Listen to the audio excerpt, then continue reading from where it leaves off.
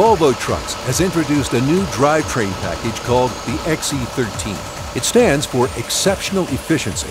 It consists of Volvo's extremely popular I-Shift automated manual transmission, mated to a Volvo D13 engine with an impressive 1,750 pounds-feet of torque. Behind that is an extremely tall 2.64 to 1 rear axle ratio, tied all together with some specially designed software. The whole package is designed to cruise the interstate highway system at just 1150 RPM at 65 miles per hour. This improves fuel efficiency.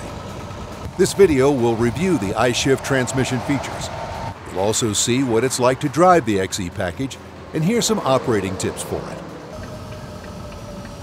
I-Shift is a 12-speed automated manual transmission designed and built by Volvo. The first thing you will notice is that I-Shift has an extremely intelligent shift strategy. From startup, I-Shift skips shifts as much as possible and only uses the gears it needs. Upshift RPM depends on how many steps are to be taken.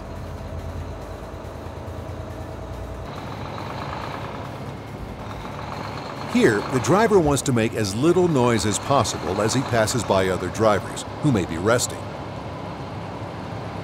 I-Shift will allow upshifts at engine speeds as low as 1,000 RPM when driven gently.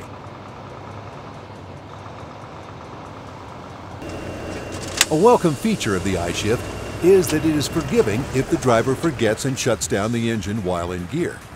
The reason is we let the transmission control the engine. The driver is really shutting off the I-Shift. If the I-Shift sees the transmission is still in gear, it will first shift itself to neutral. Then, I-Shift will shut down the engine, and this way problems when restarting are avoided. You can see by the N in the gauge cluster that the transmission is in neutral, even with the gear lever in drive. I-Shift is intelligent in other ways. I-Shift will not let you select a gear without your foot on the brake. The new XE package is what really sets the I-Shift apart from other drivetrain combinations.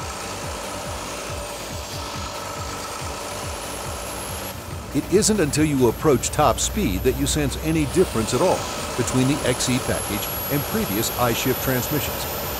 In fact, under most conditions, the XE won't upshift into 12th gear until 62 miles per hour. This particular truck has a cruise set speed limit of 65 miles per hour. At that speed, the engine only turns 1150 RPM.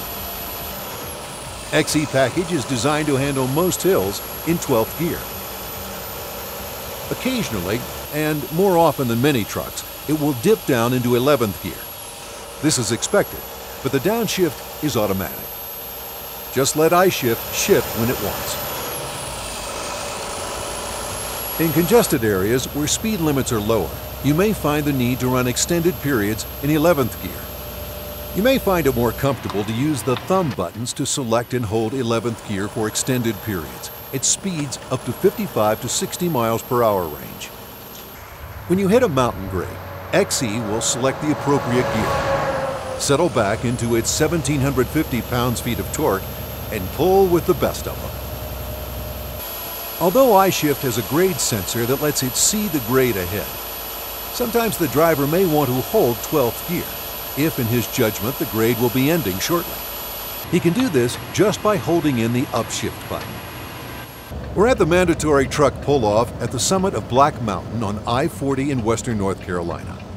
On a grade like this, you need an excellent engine brake, and Volvo's got it. Here's how to go down a mountain like this with Volvo's iVEB engine brake. Put the engine brake stock on the right-hand side of the steering column into the A position. Then accelerate until you reach your target descent speed, in this case 35 miles per hour. When you reach 35, press in the plus button on the end of the control stock.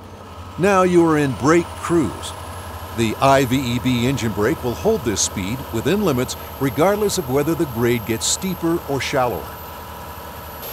If you need more retardation, you can pull it down to 3. Or if you need maximum retardation, pull the stock all the way down to the B position for maximum engine braking. This will tell I-Shift to downshift to the maximum extent possible. Two things to remember about the XE package. One is 11th gear is like the normal top gear in many trucks. It's direct drive. The transmission can run 11th gear at full torque indefinitely with no harm. The second is this truck is designed to run at 1150 RPM all day long. Fuel is expensive. The lower engine RPM reduces friction, and that saves you fuel, about 3% over standard overdrive configurations. Every mile that you drive, putting $2,000 per year or more toward your bottom line.